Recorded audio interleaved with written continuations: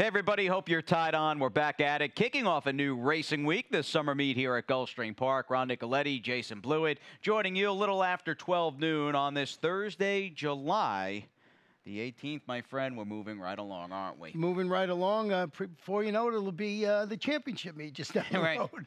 That's how fast it seems it's going. And this is a little bit of a swan song for you. Uh, Pete will be joining me on the show between tomorrow through Sunday. You'll be taking a little time away. You and your wife, Linda Nicoletti, heading up north. No trip to Saratoga, though, this, this go round, right? Not this go around. Heading to Vermont and Montreal this time. Do a little bike riding. All right, sounds good. Bring I me hope- back a Canadiens jersey, would you?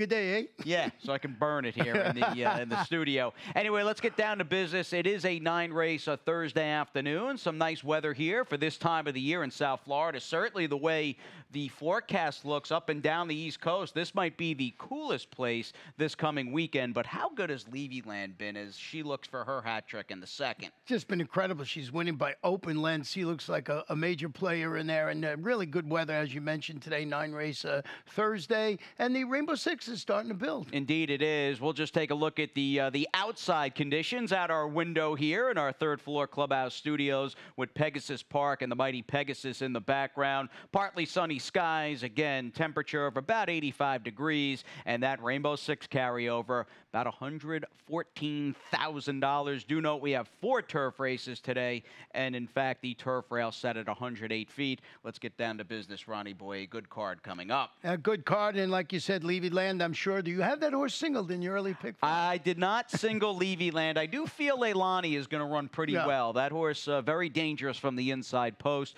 Too deep to start, in fact, in both halves of the early double, using the one Onyx and the number five Extravagant Rosie in this upcoming Thursday first, in which there is some guesswork to be, in, be involved, to be fair, things in a, uh six horse cast. My single, Ronnie, not in the second. It's a race later in the third. I think that is the spot for the two Gump, maybe just wider wire to wire after facing eons better in the maiden ranks. Yeah, this one, the distant third at this distance of before, but in the in reality, Yeah, so that right. was- that's way better than the spot. Yeah, there's no well-defined or garter and ties, with all due respect, in the cast of today's third race. Nice $12 play to start off the new week, and in fact, as we go forward, we have a Twilight Friday here tomorrow, and then a dozen races on Saturday, and a good-looking stake in which leading trainer Saffie Joseph Jr. is very much a part of the conversation. But that's down the line. Let's talk about this upcoming first race again. Four on the grass this afternoon, down to a field of six, starting the action with the two-year-old filly, $50,000 maiden claimer.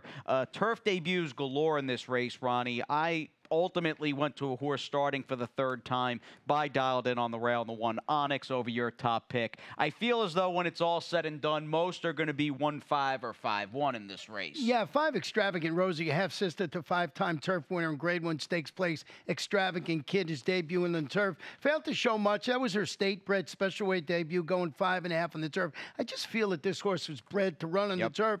Good connections, as you know, Armando De La Cerda, Edgard. That was my thought Mm-hmm. process. I can understand the one Onyx. Uh, the uh, Arindel had two horses in. They scratched Sweden, so it looks like Onyx might be the right one. Here. And could be just the inside speed, and we'll try to likely wire the field from the rail beneath the Misael Jaramillo. You also get the Treasure Beach factor with Extravagant Rosie on the sire side. Let's move on to the second. There's a little more form, in fact, quite a bit more form to dive into in this upcoming back end to Thursday's early double as we have the uh, first of five today over the main track, and we do so with Levy Land. We don't have the replay. I didn't pull the replay of hers because, I mean, even looking at her last two, there's not much to look at per se, other than her basically winning in two complete gallop dominant efforts. What do you think of her coming back for Georgie Delgado? Well, that was what I was going to show you. Stat on Jorge, Jorge Delgado. First half to claim all levels on the dirt just over the past year. What a year he's been having. He's 8 for 20, 40%, 65% in the money, 256 is the return investment.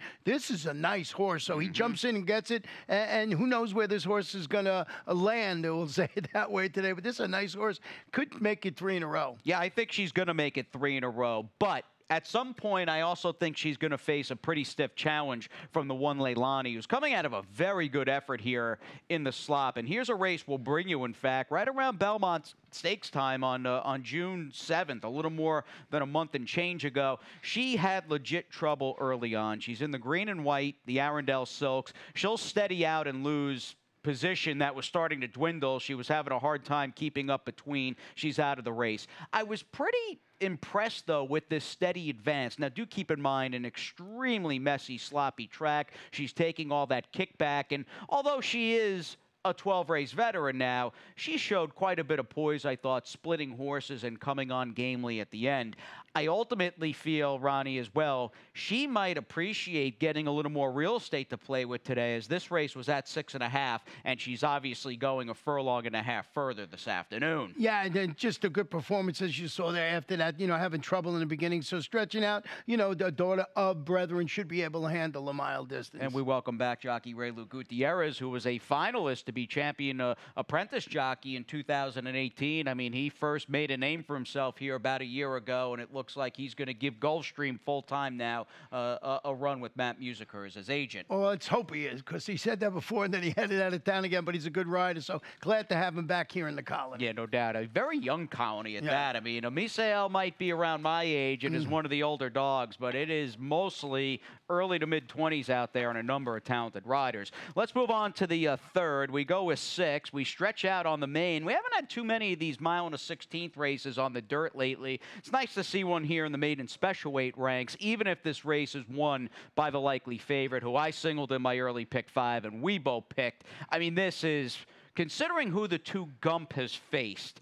Frosted Grace, well defined. I mean, this horse has tangled with some legitimately solid maidens in the past. Yeah, and stretching out to the mile and the 16, returned from about an eight-month layoff to finish the fourth going six furlongs. think that sets this horse up perfectly. Stanley Gold, Jeffrey Sanchez in the irons this afternoon. And certainly Gump looks like the one to beat. Now, the race for second is really interesting because it's a real hodgepodge. A number of these horses, in fact, filling out the field. You got the one quality special who was over 50 to 1 here during the championship meet. That one's debut, and then towards the outside, even the five Undaunted, who seems to be perhaps getting a little better. Is this horse maybe still on the improve? You know, he's a half to that uh, stakes place Noble Drama who ran well on the dirt up at Tampa. Going back to the main track, he hit the board in two or four route races on the turf. So I looked at that race in Tampa, and after Gump, like you said, it gets a little light in here. Yeah. I thought maybe Undaunted and Sweet Giant, Edgar Zayas for that first time starter being a son of Giants Causeway.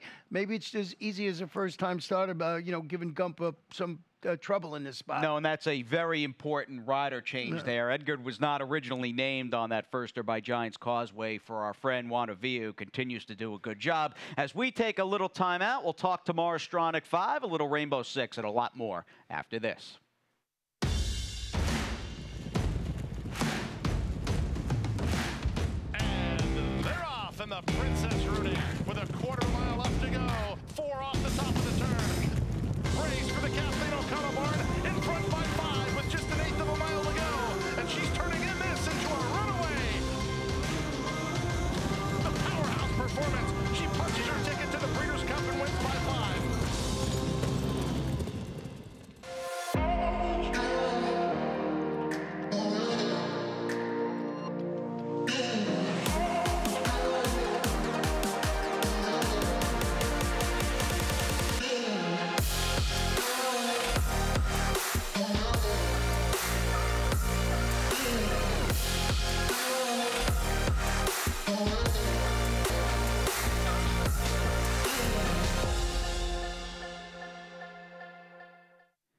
Already mid-July as we get back back to it here on this uh, live Thursday edition of Gulfstream Today. Ronnie and Jason, we've got some Stronach 5 chatter. Ronnie, you'll be uh, on a plane maybe watching the Stronach 5 on your Xpressbet app, I hope. I well, I handicapped it, so I it's Oh, my selections. right, I'm part of. I'm still I did my job because we drew, of course, a couple of days ago. So I have a vested interest, and I'm going to have a monetary interest in this thing. So and it kicks off, and I like this the way it's been. Yeah, I mean, me it's too. only two tracks with the two from Laurel and three in a row from Gulfstream. Sort of interesting. I mean, it's always good to have the California tracks in, Mm-hmm. but this has been okay. And no racing at Laurel Park this Saturday with that expected heat wave up throughout the Mid Atlantic into the Big Apple. But we will have Laurel running tomorrow for the Stronach 5 on that July 19th program. We'll set sail at about 5 to 5 Eastern, wrapping it up little little after 6:30 here at Gulfstream Park. Do note our first post here tomorrow. It's a 10 race Twilight Friday. So first post is is 2 p.m. 2:05 p.m. A little earlier than it's been at that uh, original 2:15. Rainbow Six, meanwhile, Ronnie, we hit six figures over the weekend as far as the carryover. We got 113k plus, and you're up on deck, my friend, with your ticket. I got a thirty-eight dollar and forty cent ticket. and I went too deep in here with Derlin and Miss Mario in the opening leg in here. My best bet today, and I don't know how much uh, you know how much money you're going to get on this. I really like Fine Spirit making his first start, spit a pair of next out winners. Uh, Leo Azpurua Jr. doesn't start a lot of horses, but he does a good job. I went too deep in there. Race six had me confused along with race number eight. I, I went four deep in there. I, I didn't know what to do. In the ninth race today, really have a long shot. And if this one hits the board, I might knock everybody out. And that's hmm. Ma- Moon over Maui. This one 12 to 1 in the morning line was 70 to 1 last time out, but didn't run that badly. So I just, and had a bad, bad break.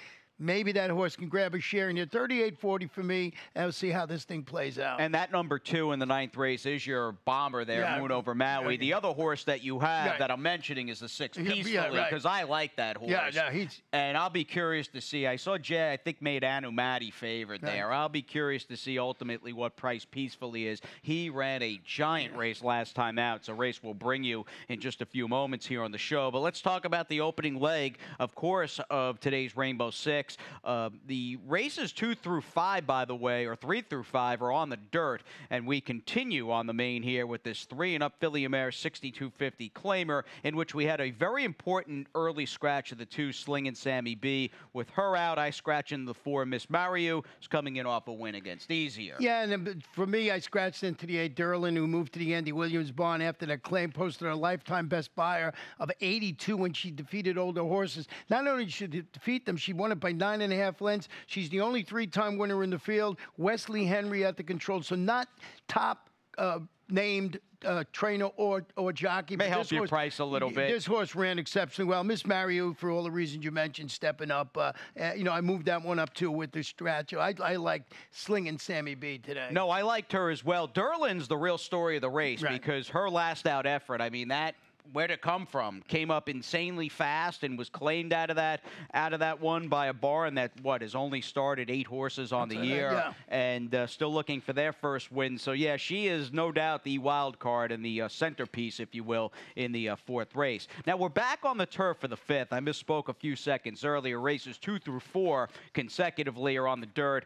Our second of four turf races today goes in the fifth. A, uh, a 20K maiden claimer for three and up that does jumpstart that Thursday late pick five. And there is a peacefully uh, holding it down for me in the uh, nightcap. I do like that horse in the uh, last race, uh, going out for trainer Marcus Vitali quite a bit. Very competitive eighth race, though, and even seventh race. What do you do with a horse like High Hours, my friend, who's running a bit later in the afternoon and is dropping down? It almost seems like in race number seven, uh, Ralph Nix and perhaps Team Valor are looking to get this horse claimed away. Yeah, I mean it's just uh, a little tough in there. And, uh, dropping from 35 down. I mean that's the logical one, but uh, did not single in that race. no, me neither, for sure. Now, the uh, fifth race to start this thing out, I'm three deep, two, five, and eight, but I do have your, your top selection, Ronnie, first as well. The number five, Fine Spirit, who caught, for this level, caught a maiden 20 field that would be tough during the winter time, tough at Saratoga.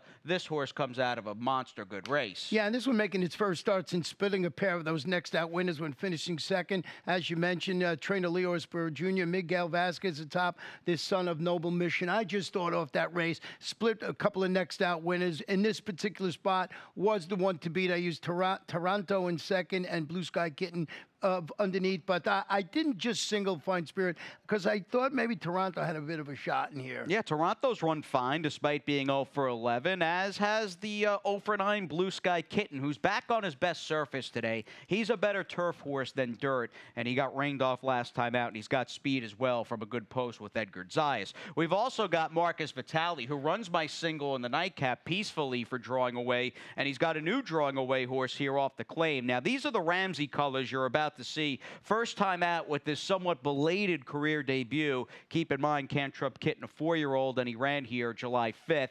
Wanted to show his start because not that he broke awfully or anything like that, but he was just a little lethargic early, and clearly a horse in the early speed department had none of it. He finishes up with some interest as we pick it up at the quarter pole. He'll start to weave his way through some tired horses. Never threatens the winner, who essentially ran off the screen. But all in all, I think, Ronnie, this was a good enough race to potentially get him going for his second start this afternoon. Yeah, this is the one that, that I could not figure out what to do. I, I went from putting this horse 2nd third, then I ended up going fourth. I would not be surprised if he runs good and, and even wins the race because uh, just the connections and really lost its best chance when it broke poorly there. But I just was hung up on fine spirit, and that's why I went that way. Let's move on to the sixth here. Five down, four to go as we uh, volley back to the dirt. Coming up on this two lifetime three and up Philly Mare uh, claiming race, in which I looked at for a while. And you do have a big field. I mean, that may complicate matters.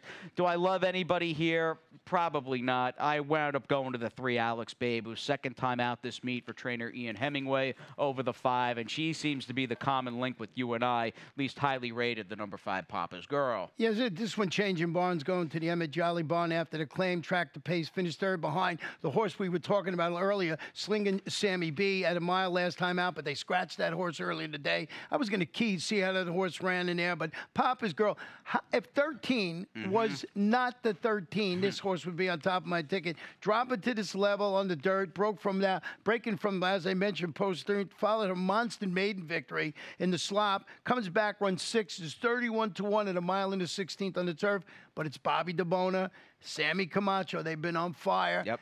This post, I had to put this horse on the ticket, Yep. but boy, it's good, tough to win for post 13 going a one turn mile. Yeah, you do move in. There's no uncaptured angel, so it's post 12. But again, good thing you got a lengthy run into that into that uh, into the far turn. But boy, oh boy, 12 uh, stall 12 there, uh, breaking from the outside for a barn that's been in fuego, man. Four for five to start the summer meet for uh, Bob DeBona. Let's move on to the uh, seventh as we uh, get back on the turf. 16K three and up claimers, and a race that, although you've got some size, just in terms of the number of horses entered, it really is all about the runner we picked, who's going to be favored here in the nine high hours. Yeah, there's been some fits and starts with this uh, Brazilian bred, now eight year old, who's only run 17 times over the last couple of seasons. But judging from his last race, and here it is on June 6th, you would think he's still got enough prerequisite talent to maybe compete and perhaps win at a level higher than $16,000 claiming. We got he got loose, but he was cut down by a horse in good form in the Gipper. In for the 16, Ronnie Boy. I think he gets claimed this afternoon. He gets claimed. He's dropping to that level. You know, yeah, you'll see right here. He finishes a good second against 35 condition claimers. So right away, you're saying, what is going on here? It's Ralph Nicks, MSC Jaramillo. Maybe he hit it just being an eight-year-old. If you want him for 16, you can mm-hmm. have him, and they can get a win here. I use very colorful in second, who's the five, stepping up the competition. With I thought this horse would sit the trip with the speed in this race. So I just thought maybe this horse can get a little bit of a trip, maybe grab a share in there along with Giants Voice. And as far as speed, swagger, earth, you've got the nine high hours, who's very fast. Yeah, there might be a contested mm-hmm. pace for sure. If that happens, I thought the four Blackjack Baby, who at one time had turned into a win machine, and then the going got a little too tough for him.